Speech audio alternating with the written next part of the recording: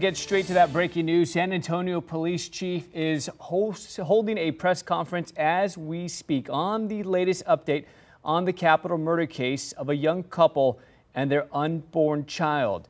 We're talking about 18-year-old Savanah Soto and 22-year-old Matthew Guerra. They were both found dead on Tuesday inside their car at an apartment complex in the medical center. Again, uh, Police Chief William McManus just wrapped up a press conference down at Public Safety Headquarters. I'm being told he was taking questions. We do know that SAPD put out some surveillance video. Let's get straight to Zach Briggs. He's live at Public Safety Headquarters after the police chief just wrapped up. Zach, what can you tell us?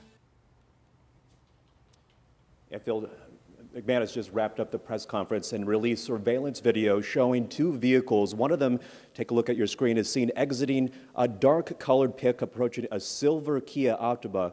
And you have two individuals interacting with each other, some type of exchange perhaps going on. Now, this is the same Kia Optima that was found at the 5900 block of Danny Kaye. And inside that car, Matthew Guerra and Savanah Soto found dead.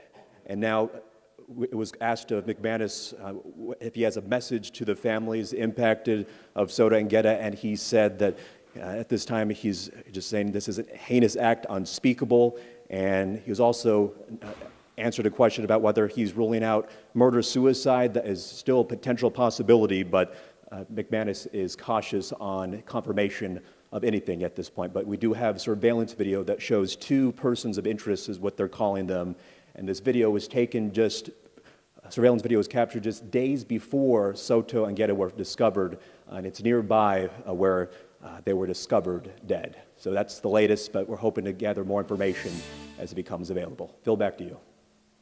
Thank you. And if anyone wants to see that video again, you can go to our website at kens5.com. And of course, if you have any information, call the SAPD Homicide Unit. Now, our other